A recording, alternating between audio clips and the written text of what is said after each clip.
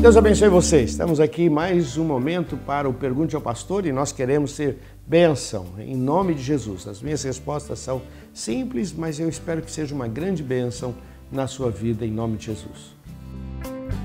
Ô Keiler, legal, muito obrigado pela sua participação. Você me coloca aqui o que, que eu acho sobre perder os cultos no final de semana para viajar, mas em cada viagem você tem comunhão, tem aprendizado, vale. Olha, que bênção.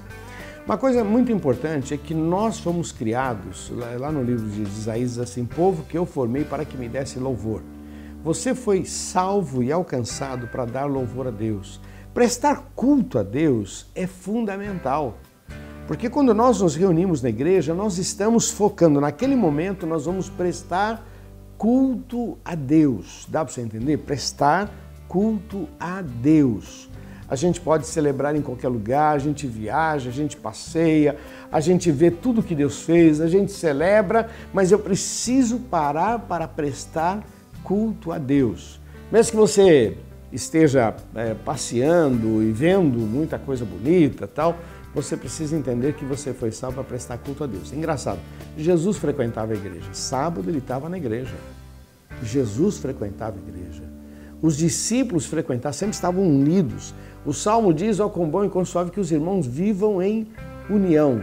Então o que acontece? Quando a gente vai se dando, e o, o, diabo é terrível, né? Sempre tem uma boa viagem, sempre tem uma boa oportunidade, sempre tem alguma coisa boa, e a gente vai tentando espiritualizar. Não, mas eu fiz, eu dei folheto, eu falei tal, tal, tal, mas não prestei culto a Deus, não estive reunido com os irmãos para celebrar. Vai fazer falta lá na frente, em nome de Jesus, tá bom? Então, quer uma orientação, queridão? É, viagem, tal, tal, mas não abra mão do teu culto a Deus em nome de Jesus, tá bom? Outra coisa, o Gilmar. Gilmar me pergunta como é a vida de um pastor. Meu irmão, a vida de um pastor é adrenalina, cara. É uma grande bênção e a gente está sempre nessa, nessa adrenalina. A gente nunca sabe direito o que vai acontecer. O pastor, ele, ele passa a ser referência para todo mundo, no entanto, quando o pastor está aborrecido, ninguém entende. Quando o pastor está com um problema, todo mundo acha que o pastor tem que estar, tá, parece que sempre pronto, ligado. A vida de um pastor é uma adrenalina. Na verdade, é, Gilmar, você só vai entender se você andar junto de um líder, você vai entendendo a essa ação. Ora, nós estamos felizes. Eu me lembro um dia que eu participei de manhã é, de um funeral depois de uma crise conjugal, uma separação.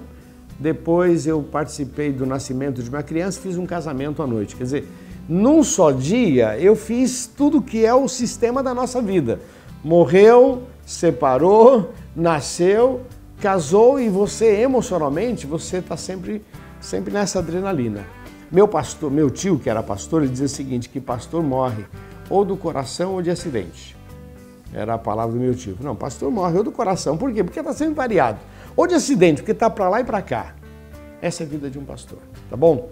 Obrigado, Gilmar. Que Deus abençoe a sua vida. Ah, outra coisa, o Gilmar, ele faz uma outra pergunta aqui sobre salvar a família. Olha, esse é o grande desafio. O apóstolo Paulo falou para aquele carcereiro: creia no Senhor Jesus Cristo e será salvo tu e a tua casa. É muito importante a gente ter isso como alvo, salvar a família, mostrar o caminho, ajudar os nossos familiares a terem um encontro com Jesus.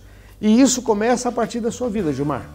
Você, você leva Deus a sério, você se santifica, você busca o Senhor, sabe o que vai acontecer?